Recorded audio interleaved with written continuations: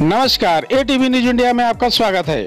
समस्तीपुर में अपराधियों ने की अंधाधुंध फायरिंग, दो की मौत, पाँच जख्मी। समस्तीपुर जिला के दल सिंह राय थाना क्षेत्र के नवादा पंचायत के आईवी रोड स्थित चाय दुकानदार सुमित कुमार राय के घर में दस की संख्या में आए हथियारबंद अपराधियों ने घर में घुसकर अंधाधुंध फायरिंग की।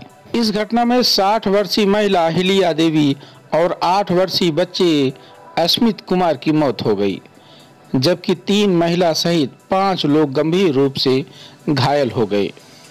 जख्मी में खुशबी कुमारी की स्थिति नाजुक है। वहीं पूजा कुमारी, राकेश कुमार और अन्य दो का इलाज अनुमंडलीय अस्पताल और शहर के निजी अस्पताल में जारी है। घटना की सूचना पर डीएसपी दिनेश कुमार पांडे थाना अध्यक्ष प्रवीण कुमार मिश्र अस्पताल और घटना स्थल पर पहुंचकर जाँच में जुट गए हैं। हालाँकि घटना किस वजह से हुई, यह अब तक साफ़ नहीं हो पाया है।